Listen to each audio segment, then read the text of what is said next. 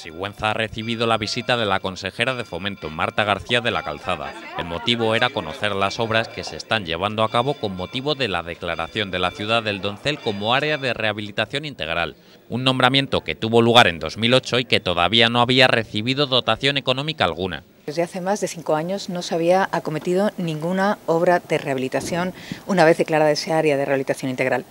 Y ello por una razón eh, lamentable a la vez que simple, y es que faltaba dotación presupuestaria para hacer frente a las ayudas eh, comprometidas en ese área de rehabilitación integral. La consejera ha recorrido las calles de la localidad junto al alcalde José Manuel Lace, la presidenta de Diputación, Ana Guarinos, y el delegado de la Junta, José Luis Condado. La inversión en Sigüenza forma parte de un programa que afecta a toda Castilla-La Mancha.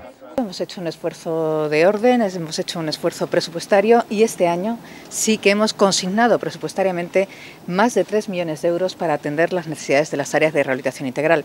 Concretamente aquí en Sigüenza ello ha procurado realizar, eh, que se estén realizando 25 obras, 25 actuaciones de rehabilitación en el casco histórico por un importe en que la Junta eh, aporta cerca de 130.000 euros. El casco histórico de Sigüenza tiene programadas 25 pequeñas obras con un corto plazo de ejecución, de las cuales 5 ya han concluido.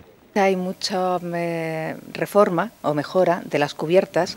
Me comentaban que en Sigüenza es especialmente importante, precisamente por el clima tan extremo que tiene Sigüenza.